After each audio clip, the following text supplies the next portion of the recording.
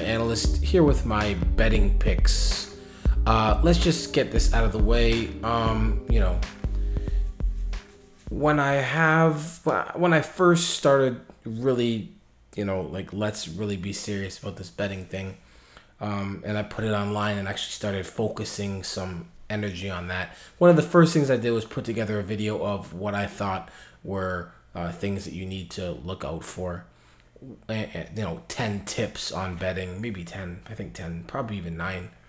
But one of them was definitely basically something that kind of says don't bet on anything on the undercard, right? And maybe even some of the main card stuff. Um, so the whole undercard is going to get us. You know, there are, there are ones that I will say just don't even bother, but anything on the undercard will automatically get silver pick because I'm saying like there are certain people that probably will win and your your money is probably safe, but this is about the pinnacle of untested talent facing untested talent. So when you have those two things going and you want to kind of pick a winner, um, you know, it's just not wise.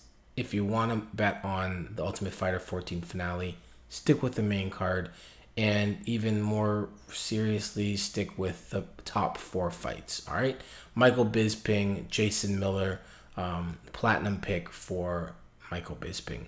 He is uh, not going to get finished by Miller, most likely. If he does, he'll get submitted.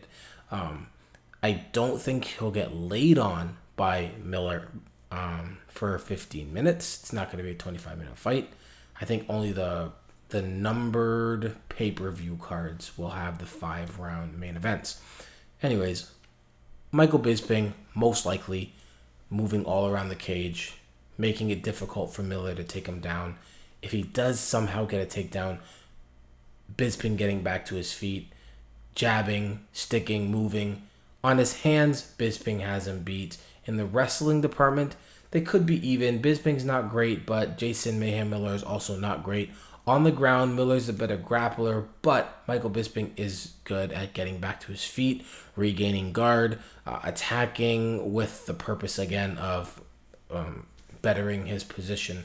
Uh, I don't really see Mayhem Miller winning based on a few things. Number one, most important, he has not fought um, since September 2010.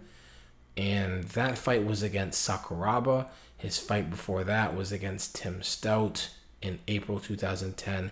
And his last, like, every fight is serious, but his last serious fight where you know we're talking about top level MMA versus top level MMA was uh, two years ago, November seventh, two thousand nine. That is the main reason why I'm going with Michael Bisping, who, yeah, uh, you know, he hasn't had to face the best of opponents because he is still um, the UFC's British guy. But George Rivera, Jorge Rivera, he is solid. Yoshihiro Akiyama, he is solid. Dan Miller, solid. Like these guys are none of them are top ten. Um, but still, he's got to work on it. Wanderlei Silva, Dennis Kang, right? So, anyways, long story short, platinum pick, uh, Michael Bisping. Next fight, Diego Brandao versus Dennis Bermudez. Um, what's the odds with this one here? Diego Brandao minus 350. I mean, that's not really going to affect anything. I can't put a platinum pick really on, I mean, a diamond pick on any of these just because um, I'm not comfortable, you know, just making that kind of pick on these guys. Now, in all fairness, Diego Brandao is probably, in all likelihood, going to knock out Bermudez in the first round. So, not only is it most likely that he's going to win, but he's probably going to win in the first round. He's probably going to knock him out, and he's probably going to get knockout of the night. So, you know, is those are three things that I'm very very positive about, but I'm just not gonna put a diamond pick out there. It feels like a diamond pick, but it kind of goes against my rules to actually call it a diamond pick. Brandao um, is not unbeatable. That's another thing. You know, in the house he's looking really good. He's going out there smashing everybody, but I think he's got about seven losses. I think it's like 15 wins and seven losses or something. Like that. It's just off the top of my head. Let me take a look just to make sure I'm not crazy. Um, yeah, 13 wins and seven losses, right? So he is anything but unstoppable. Um, he's actually going into the house. He was on the three fight winning streak. Everything that's happened in the house is not actually part of his record. So, you know, he can lose, and he has lost before. And he's been knocked out before. He's been knocked out a couple times. He's been knocked out uh, four times. I mean, at the end of the day, I cannot pick a diamond pick yet with this guy. So, anyways, platinum pick Diego Brandao, first round knockout, fight of the night. All that stuff's probably gonna happen. T.J. Dillashaw versus John Dodson. I think Dodson's actually the undercard, uh, the under the underdog. Not really sure why. Um, I'm pretty confident that Dodson's gonna win this.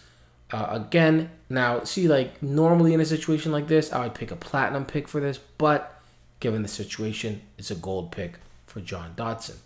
I do think Dodson will have the speed advantage. He'll have the hands advantage, the wrestling advantage.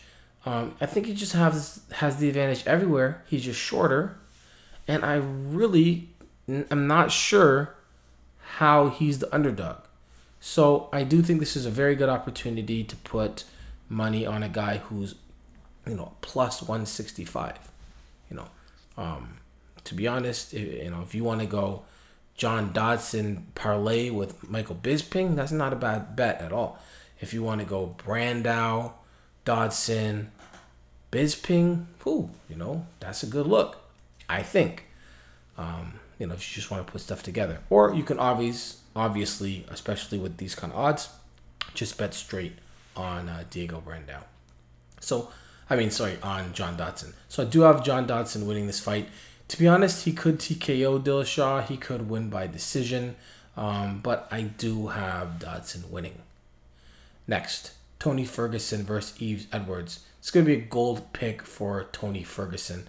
Um, really good hands. Looked impressive against Aaron Riley. I was hesitant to to to pick him against Aaron Riley because at that time he had beat a bunch of basically no names, and then Ramsey Nijem, who was a no name, who was in the finals for the Ultimate Fighter. So his skill set showed that you know he he's got something to work with. Um, this is a good test for him and Yves Edwards. Uh, by no means is, is Yves Edwards uh, a slouch. Uh, been fighting for a long time since 1997. Uh, uh, very active, uh, 59 fights in total. Right, we're talking 59 fights against to- Ferguson's 14 fighting since 2008. Um, Edwards, you know, 17 submissions, 15 knockouts. It's very, very tough still to pick uh, Tony Ferguson. But from what I saw with his takedown defense and his striking and his aggression, the biggest thing it was his aggression against a guy who likes to brawl in Aaron Riley. If Tony Ferguson moves forward with straight punches, aggressive, ready to attack, I see him potentially overwhelming Yves Edwards and eventually catching Yves Edwards. Um, you know, he's got seven. He's got uh, what seventeen losses. Most of them are by decision, nine of them, but he has been knocked out four times. Um, and recently uh, against Sam Stout. Actually, I think I even picked. I did pick Sam Stout that fight, but I picked Sam Stout to win by decision. Didn't think he was gonna knock him out. But anyways, I am going with Tony Ferguson, and again, this is a gold pick. All right, undercard. Um, everything is a do not bet, except for Bryan Caraway over Dustin Neace and Dustin Pague over John Albert. Both of those silver picks. Both of those similar situations. One fighter who I'm picking um, has the experience ha- is a you know well-rounded fighter, or at least more well-rounded than the other fighter. But both of them have not beat anybody, have never shown any reason to actually trust your money in their hands, feet, or game plan or anything. So again, silver picks for those guys because in all likelihood they should win, But really, you know, the whole undercard for me is going to be do not bet, but I will put two silver picks out there. So there you go. Those are my picks. Um, yes, I will be back next Thursday. Was that the the eighth? Send you guys the videos for UFC 140. I think there's some good money on that card. MMA, it's important. Peace.